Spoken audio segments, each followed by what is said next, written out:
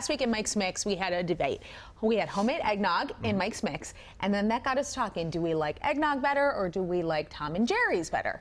So mm-hmm. we did a poll on our website and on my Facebook page, and the results are in. The people have spoken. Natalie loses. By how much? Not by much. Na- Natalie, a fan of the Tom and Jerry's, uh, and you had 46% of the votes. Okay. Uh, the uh, eggnog got 54% of the votes. And what was interesting about the eggnog is literally real eggs. so is Tom and Jerry, which was a surprise to Natalie. Uh, we want to show you how to make the Tom and Jerry at home, even though they did lose. We go to Spoon and Stable this week for Mike's Mix. It's my gift to you.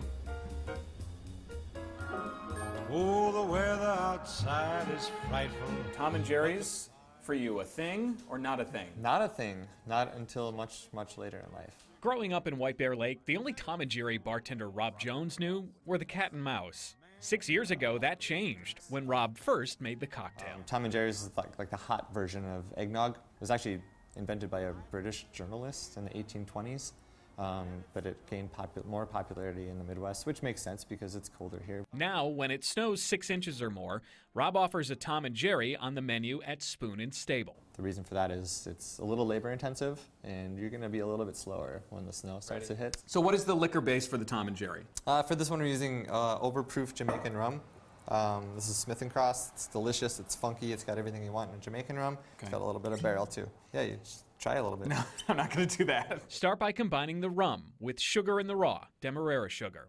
Then season it. First with Bitter Cube's Bolivar bitters, then Allspice, cardamom, clove, and then we're gonna add the egg yolks right to this. I work on combining that while Rob whisks air into the egg whites, forming a soft meringue. I wasn't raised on mixers. I wasn't raised in doing work in my own segment. When the egg whites form soft peaks, fold them into the batter. In the meantime, you've been warming milk on the stove, right? Do it slowly so it doesn't scald, resulting in a burned taste. In this case, we're using almond milk. You can use any milk you want. Now it's time to build the drink in a mug. Start with the rum. We're not measuring today, so because you know we're at home. It's the holidays. We're Wow, you are really not measuring. a whole bunch of rum in here. Add another dash of bitters. Spoon the batter into the mug and add milk on top. Something to look forward to yeah, when it snows. when it snows. Is there a lot of rum in there? yes, there is. It's not overpowering at all. Yep. Uh huh. it's pretty strong, Mike. Well, cheers. Cheers. Cheers. Happy holidays, guys. Happy holidays. Here, Adam, I got you this Christmas present. It's a wallet. Whoa. Dude, that's mine.